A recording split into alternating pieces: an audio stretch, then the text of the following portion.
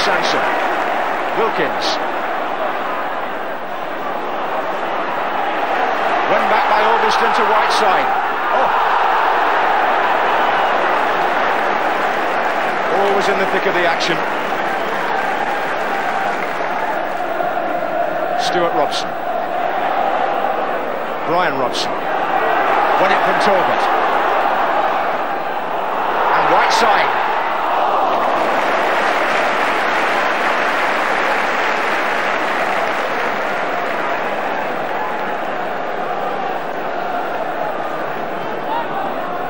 Whyte.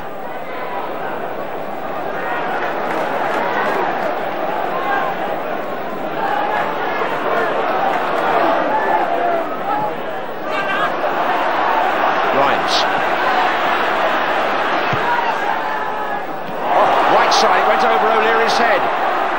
And right side to Brian Robson.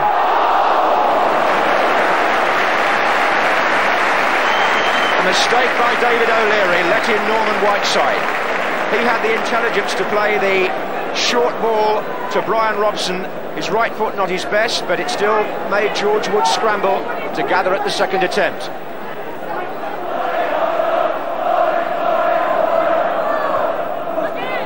Ten minutes left in the first half. Away by McQueen.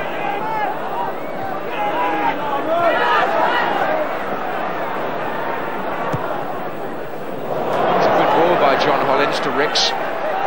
Robson is again well forward for Arsenal, and Bailey comes to meet him. And here comes Petrovic. And he's Robson's in there, and so is Woodcock.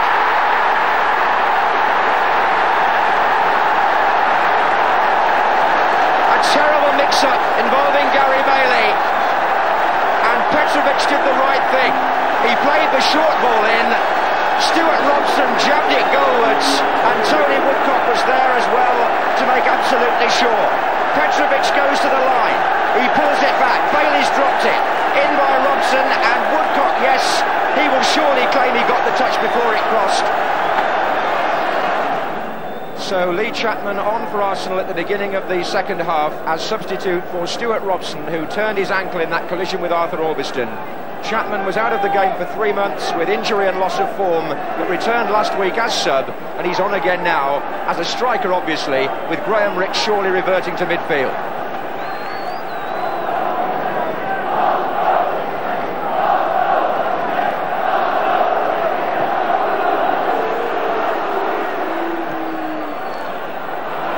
Grimes. Making a run forward down the left. Here comes Brian Robson. He's in with a chance. Yes! The Manchester United captain has equalised.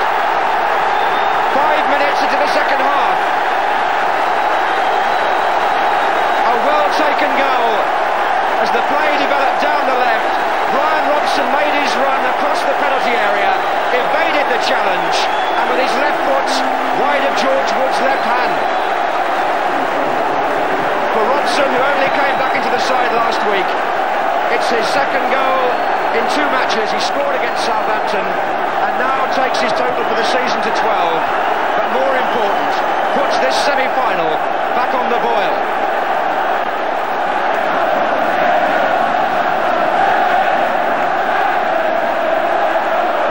Here he is again, Robson. Stapleton. Number 10, right side. And a chance for Robson again. Good save by George Wood. But just listen now to the fans of Manchester United. But here come United again. Ray Wilkins. Albiston. Wilkins once more. Stapleton near post, sets it up. And driven right across. And Norman Whiteside seems to be involved in nearly everything.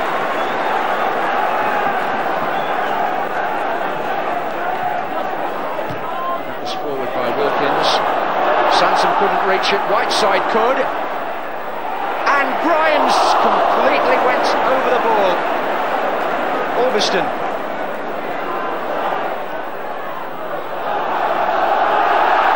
Corner. Ashley Grimes took a swing but he missed the ball completely. Manchester United, though, forcing a corner which he will take. The lineup from the near post, Whiteside, McQueen, Stapleton, two others to come in. One of them was Brian Robson, and turned over brilliantly by George Wood from Robson's header. Johnny Hollins on the post, but it was Wood's tip over that saved Arsenal. Corner again, Wilkins. McQueen comes near post, and Petrovic half away. What a good save by the Arsenal keeper.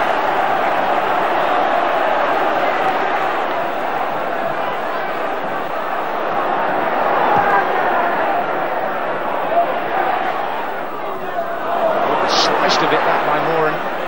Sansom. Chapman's there. So too now is Hollins. Petrovic is wide, so is Talbot. Petrovic. Away this time by McQueen. And a drive by Hollins.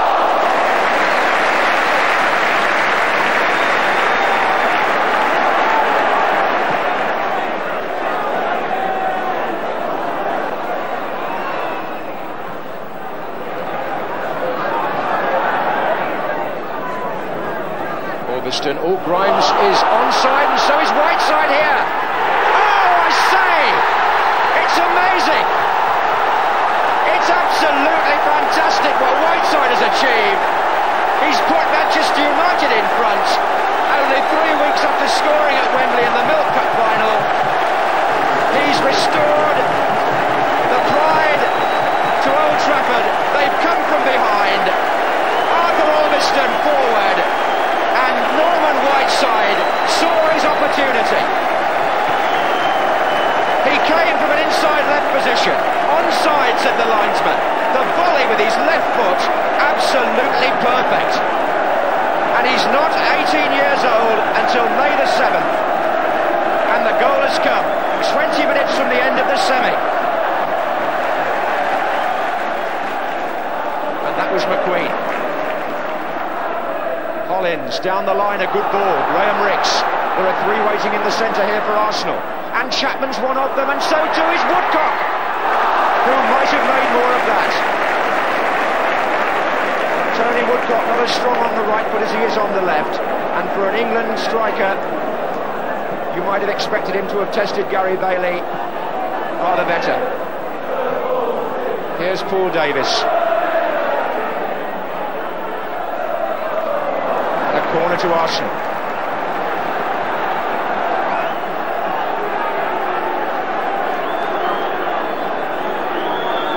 Talbot and Rix on the ball, O'Leary near post.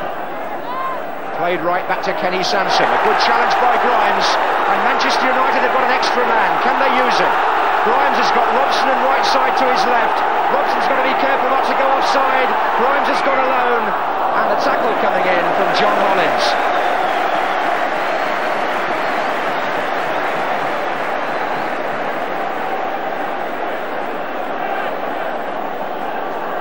So Grimes will now take the corner.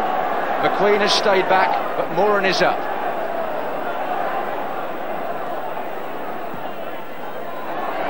And off Moran's head, he got another awful crack there in the face.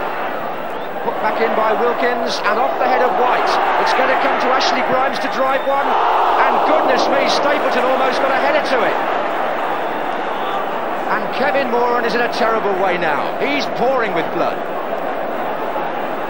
that already had a cut.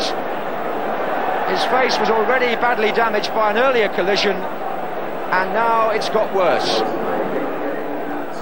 And there'll be anxiety there on the bench. The substitute is a centre-half, Paul McGrath, but Ron Atkinson is hoping the fates don't interfere here, because Kevin Moran, apart from bleeding badly, must also be stunned.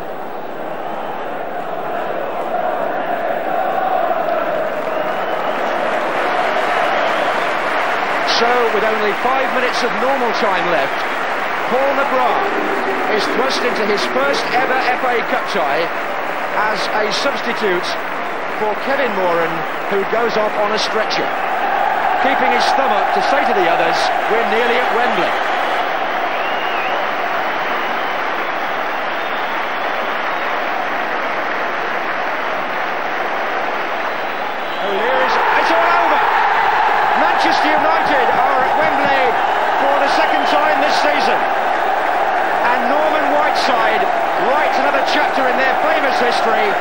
Ron Atkinson equals the feat of Spurs and Keith Burkinshaw last season.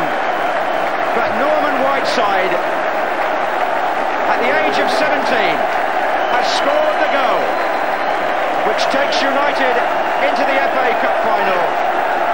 Their fourth in eight seasons.